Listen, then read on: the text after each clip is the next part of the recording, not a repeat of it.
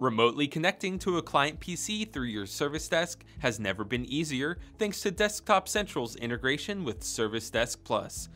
To establish a remote connection, choose your desired ticket under the Requests module of Service Desk Plus.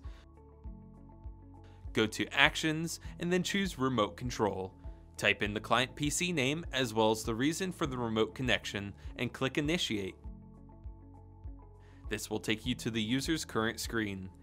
From there, you'll have several options for troubleshooting, like the ability to blacken the user's monitor, disable user input devices, use the command prompt, open up the event viewer, pull up the task manager, send a chat, or initiate a voice or video call with the user.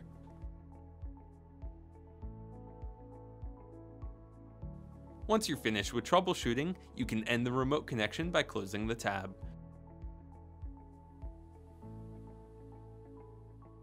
Notes will automatically be generated once the session ends. If you need more information on integrating Desktop Central and Service Desk Plus, check out the link in the description. Thanks for watching!